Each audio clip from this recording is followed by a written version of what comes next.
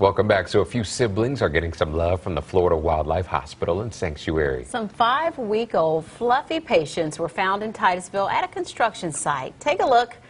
These little oh. guys, river otter pups, were oh. abandoned by their mom.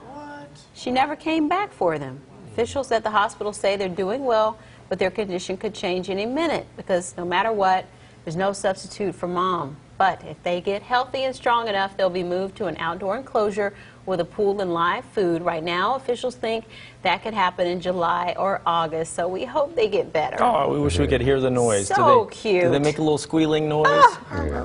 Can't What's take that noise? it. Go ahead, do it again. knows?